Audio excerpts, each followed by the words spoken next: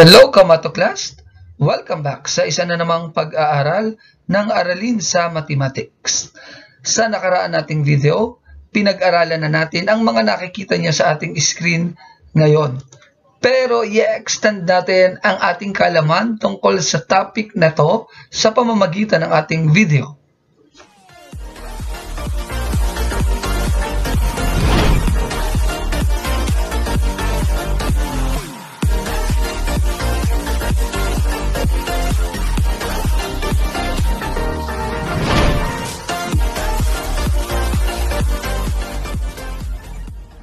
Video is about solving algebraic word problems.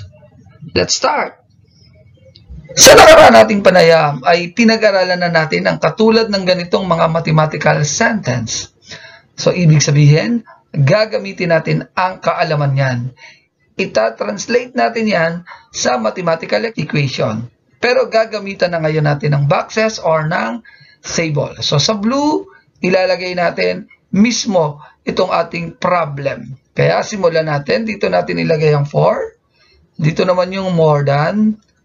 Dito naman yung tw twice a number. Then is. Then 44. So yan din mismo yung problem. 4 more than twice a number is 44. So, isi-change na natin ang mathematical sentence na to sa algebraic equation. So, kaya itong 4, we have that. Then more than means plus kasi madadagdag or kaya plus. Then twice a number, ibig sabihin twice is 2. A number, ang number natin ay x. So we have that. Then is means equal, then 44. Okay? So pagkatapos, alamin na natin ang working equation. Obviously, yan na yung working equation. Which is also written as 2x plus 4 is equal to 44. Mas magandang ito yung gamitin natin kasi sabi diyan 4 more than twice a number is 44. 4 more than. So, ibig sabihin na dagdag siya. Kaya ito yung mas gamitin natin to solve the problem. Then, ililipat natin si 4 sa side ng 44. Kaya ang matitira lang dito ay 2x equals 44. Ito ililipat natin. Kaya magiging, mapupunta siya dun sa kabilang side. Dahil positive siya dito, magiging negative. Kaya naging 44 minus 4. Then perform the operation, we have 44 minus 4, that will be 40. Then divide both side by 2. Kung anong kalapit ng x doon, i-divide both side by 2. So cancel na to. So ibig sabihin, mawawala na to, mawawala na rin ito. Kaya ang matitira na lang doon ay x, which is equal to 40 divide 2 that will be 20. Therefore, ang hinahanap nating number sa problem na ito is 20. Okay, let's have another one. Consider that we are about to work on with the difference between 5 times a number and 6 is 24. Find the number. Gamitan ulit natin ang table. So, isulat na natin dito mismo sa lahat ng yan yung una, the difference between 5 times a number and 6. Explain na lang natin bakit dyan na lang sa isang box sila nilagay. Then is, then 24.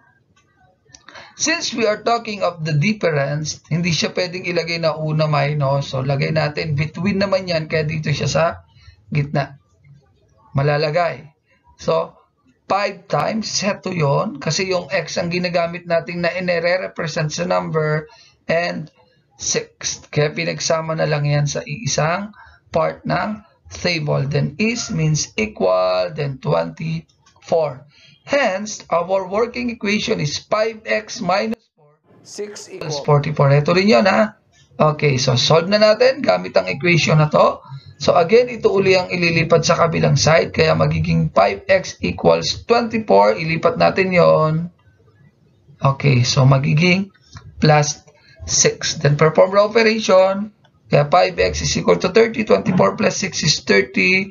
Then divide both side by 5. Para makancel natin yung 5. Then ang matitira na lang dito ay x.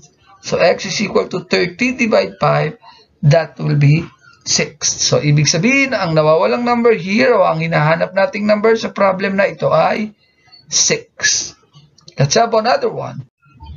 Consider that we have a number is increased by one-third of the number is 8. What is the number? Gamit uli ang ating table. A number, lagay natin. Increased by, lagay natin. One-third of a number. Okay, then is, then 8. So, translate na natin a number. Hindi natin alam ang number, kaya represent na lang natin yan sa x. So, increase by, ibig sabihin, madadagdag one-third of a number. So, one-third of a number. Kasi ito yung number na pinag-uusapan. So, is 8. Hence, yan yung ating magiging working equation. x plus one-third x equals 8. So, solve natin. So, sa ganitong paraan, kapag nakakakita kayo ng fraction, usually, para mas madali siyang masolve, imumultiply natin both side by the denominator. So, denominator ay 3, 3. So, didistribute natin muna ito dito. Distribute natin. Tapos, didistribute nyo to doon. So, ito rin i-distribute natin doon. Kaya pag ito 3 times x, that will be 3x. Pero dito, maka-cancel out na to. Okay, para clear? Kaya ang natira is 3x. Ito yung 3 times x. Dito 1x or x. 8 times 3, that will be 24. At pwede itong isolve. So 3x plus x is 4x equals to 24. Divide both side by 4 para ma-cancel out ang 4. So x is equal to 24 divide 4. That will be 6. Hence, the number na we are looking for is 6. Okay. Let us have another example. 3 fourths of the difference of 2 times a number and 6 is 12. Find the number. So, gagamitin muli natin ang table para mas madali nating makuha. Lagay natin dito yung 3 fourths. Dito natin ilagay. Then, off. Lagyan natin ng sarili kasi off means multiplication. In advance na natin. Then, the difference of 2 times a number and 6. Lagay natin doon. Is, lagay natin is, and the last one is 12.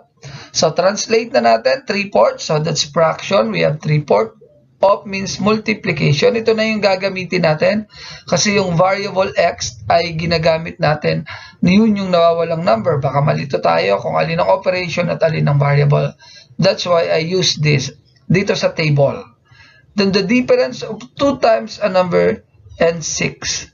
So 2 times a number, ito yung difference, and 6. Then is means equal, then 12. Hence, our working equation will be 3 4 times 2x minus 6. So, inayos na natin ito. Ano? So, ginawa na natin uh, parenthesis here. So, tapos, the next thing to do is to solve it. So, usually, sabi ko kanina, doon sa isang example na may fraction, minumultiply ko both side by the denominator. Ang denominator natin ay 4. So, in this case, so, i-distribute natin ang mga value. Maka-cancel na natin ito. Cancel na. So, ito na lang ngayon ang i-distribute natin. Same thing here. Okay na? So, we have that. 3 times 2x and 3 times negative 6, then 12 times 4, that will be 6x minus 18 equals 48. Lagyan natin. 3 times 2x, 6x, negative 6 times 3, that's negative 18, then 12 times 4 is 48. Tapos, ililipat natin ito sa kabilang side. So, 6x is equal to 48 plus 18 magiging plus. Kasi nilipat natin, addition, APE tayo, addition property of equality. Hence, this will be 6x equals 66. 48 plus 18 is 66. Then, divide both side by 6. Usually, para makancel out ito. Then, we have that. So, x is equal to, pag 66 divide 6, that will be 11. Therefore, the number that we are looking for is 11. This time, let's start with this process. What represents the perimeter of a rectangle whose length is 3x plus 1 feet and width is x minus 2 feet? So let us consider that we're about to represent. Since we are talking of a rectangle from the problem, so yung side niya ang ating pag-uusapan kasi perimeter ng rectangle. So kapag pinag-uusapan ng perimeter ng rectangle, ito rin yung length at width ay napakahalaga. Kaya yun mismo yung magre-represent. So yung 3x plus 1, yun yung length. Then x minus 2 feet, yun naman yung ating magiging width. Para ma-solve natin ito, kailangan alam natin ang formula ng perimeter. At ang formula ng perimeter ay P is equal to 2L plus 2W. Hence, the value of L na 3x plus 1, isa-substitute lang natin. At ang value ng W, isa-substitute lang din natin. Kaya magiging perimeter is equal to 2 times 3x plus 1 from here, then plus 2 times x minus 2 galing uli doon. So, pwede na ngayon nating hanapin kung ano ang perimeter ng rectangle. So, gamit mismo itong ating nakuwang na from the formula of the perimeter, this time, we will be applying the distributive property of multiplication. Okay, so magdi-distribute tayo like that. So, ibig sabihin, 2 times x, then 2 times 1, then 2 times x, and 2 times negative 2. Ito yung magiging sagot. Kasi 2 times 3x is 6x, 2 times 1 is 2, 2 times x is 2x, and 2 times negative 2 is negative 4. And this time around, combining like terms is important. Tulad nito, like terms si 6x at si 2x, si 2 at si negative 4. Kaya 6x plus 2x and 2 minus 4, the answer is 8x minus 2, 6x plus 2x, 8x. 2 minus 4 ay negative 2, hence the perimeter is equal to 8x minus 2 feet. How about this one? What is the area of the square if the side is x minus 2 centimeter? Since we are talking of the square, again, ang pag-uusapan naman natin ay side nito. Okay, alam naman natin kapag square, pare-pare siya ng sukat ng side. Kaya ito lang din yung magiging representation natin. So, x minus 2 be the side of the square. So, gamit ang formula ng square, which is a is equal to s squared, at ito na yung isa-substitute doon. So, ito ngayon yung gagamitin natin. a is equal to quantity x minus 2 square para makuha ang area ng square. So, let's start. So, gamit ang formula, so we are going to work on with square of binomial. Two terms to, kaya square of binomial. Pag in-square ang binomial, pwede nating isulat ng ganitong paraan para gamitin natin ang FOIL method. Pero pwede rin naman yung process ng squaring binomial. So ito na muna yung gamitin natin sa FOIL method. Ito yung magiging result. So we have x times x is x squared. We have this. Then ito yon, negative 2 times x is negative 2x. x times negative 2 is negative 4x na yan kapag inad yung dalawang sagot kanina and negative 2 times negative 2 is positive 4. Pwede rin natin gamitin yung square of binomial. Yung sinabi ko kanina, yung, yung rule doon, square the first term, ito yon Then multiply the first and the last term. x times negative 2 is negative 2x, ido-double, kaya naging negative 4x. Then square the last term, negative 2 times negative 2, we have 4 ang area of the square is x squared minus 4x plus 4 square centimeter. That's all, Kamato class. God bless us.